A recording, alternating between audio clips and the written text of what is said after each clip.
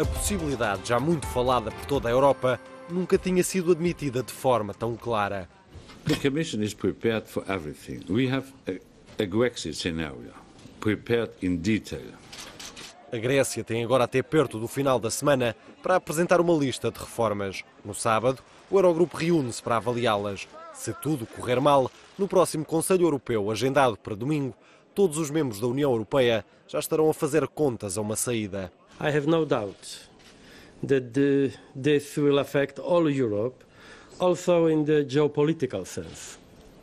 If someone has any illusion that it will not be so, they are naive. The stark reality is that we have only five days left to find the ultimate agreement. Until now, I have avoided talking about deadlines.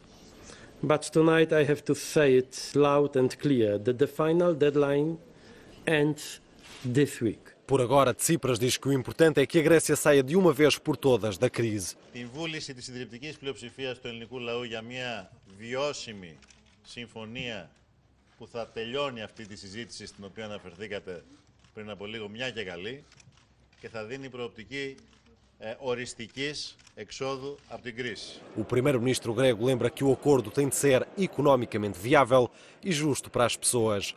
A Europa percebe, mas lembra que um acordo não se faz sozinho. haben bezüglich des Euro nicht die Souveränität eines einzelnen Staates, sondern wir haben die Souveränität von 19 Staaten. Das heißt, jeder hat nur noch eine geteilte Souveränität und wir alle haben eine gemeinsame Verantwortung. Je dirais c'est trois principes aujourd'hui qui doivent euh, nous guider. La responsabilité, ça vaut d'abord pour les Grecs. Second principe, c'est la solidarité. C'est ainsi qu'est fondée euh, la zone euro. Et enfin, le troisième principe, c'est la rapidité. A Europa fala numa semana de tudo ou nada para a Grécia. Decisões importantes que não serão precipitadas por problemas com a banca. Mário Draghi já disse que até ao derradeiro Conselho Europeu vai continuar a assegurar a liquidez dos bancos gregos.